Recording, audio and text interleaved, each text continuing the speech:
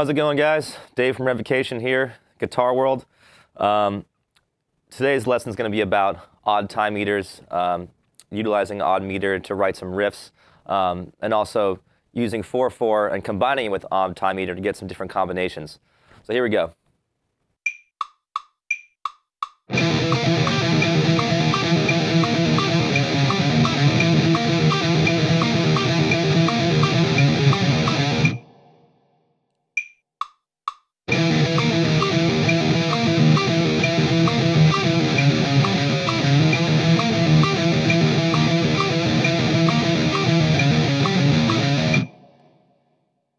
So this riff is from our song Madness Opus. And it's using this shape that's on the 13th fret of the low E string. I'm going 13, open E, 13, up a tritone to the uh, 14th fret of my A string, then back down to my 13th fret, pull off, jump up to the 18th fret on my D string, and then back down to the E, and then pull off. And that phrase just keeps cycling in three. Then I take this shape and just move it down a minor third for the very last time. So the whole thing is in this kind of weird, you know, three-four feel, odd time feeling.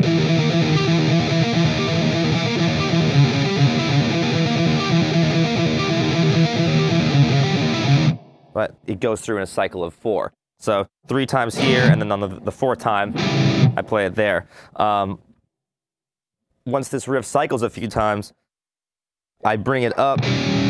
So one guitar is playing this now.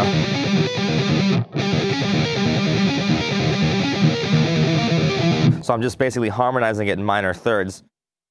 You know, one guitar is still playing the lower version, and then the other guitar is harmonizing it, which gives it a little bit more uh, you know, dissonance. It just makes it sound that much more like alien and weird sounding, which I like to do a lot in my riffs. You know, harmonize things in, uh, different intervals. Minor thirds are good ones to get a really kind of odd sound for an odd time meter.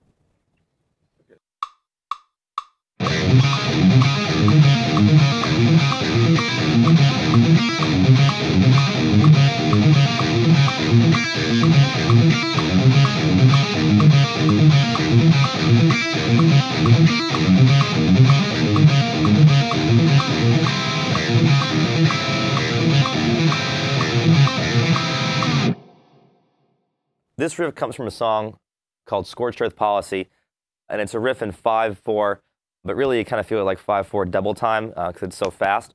Um, and what I'm basically doing is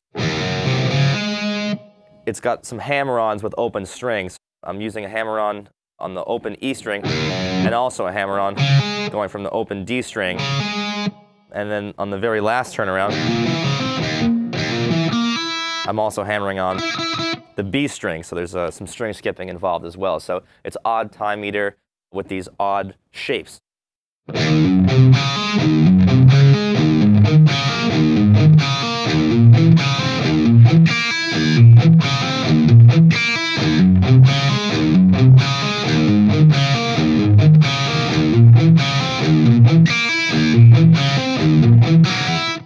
So I'm palm muting here on the lower strings, and then on the open D string, I'm letting that ring out, so it creates some contrast between the palm muting and that open hammer on on the D string.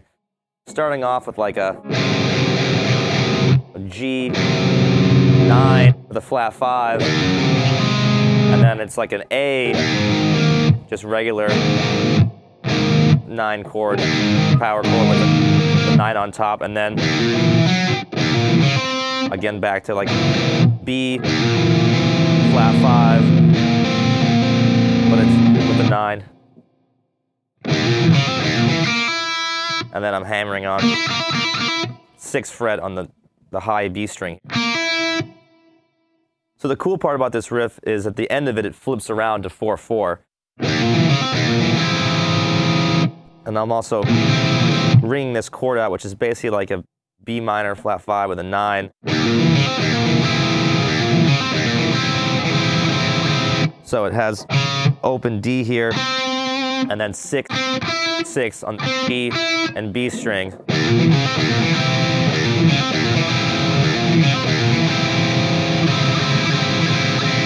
Which just is really, really tense, um, and I just like the way those notes sound ringing out together.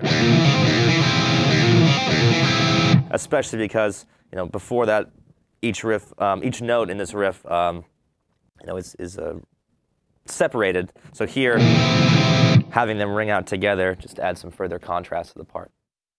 This next example um, is a riff that's in 4-4, and then I make it in 3-4. Um, you can find these riffs in a song called Witch Trials off our new record. So here we go. This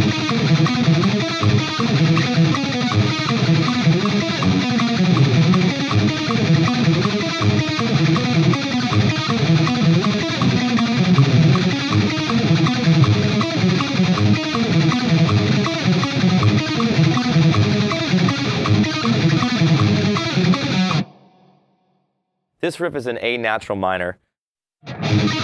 Starting with the perfect fourth here, and I'm going down to a perfect fifth, then up to an augmented fifth, and then I repeat that phrase, and then instead of going up to the augmented fifth again, I'm just doing this single note line on the G string, seventh fret to the fifth fret. And that repeats again. And the ending is basically just going down like a G major to like a C 9 shape, but all with trem picking.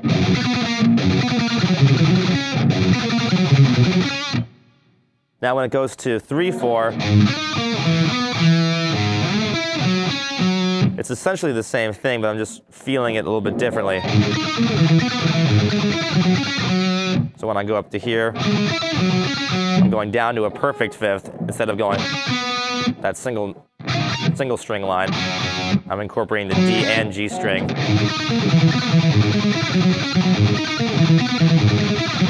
So I got fourth, fifth, augmented fifth, then back to perfect fifth. Uh, when the 3-4 uh, part of the riff cycles uh, at the halfway point, I actually open it up and no longer do the trem picking, but I start playing it more with some slides to give a different characteristic.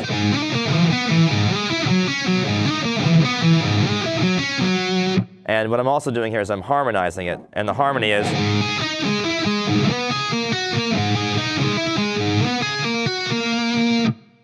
um, just to add some more flavor to the part. So when I'm writing songs, uh, you know, I like to take a riff and try and play it in different time signatures to see what I can get out of it. Um, I think it's really good for a songwriting um, aspect. You know, you're not just going from one riff to another that have no relationship to each other. Um, sometimes that's fine, but sometimes it feels more like a composed song. If you can bring back different themes, but just have a little twist on them, um, that way it just it keeps the listener engaged and gives them something a little bit familiar, but at the same time takes that riff to uh, to new territory. And that's something I like to play around with a lot.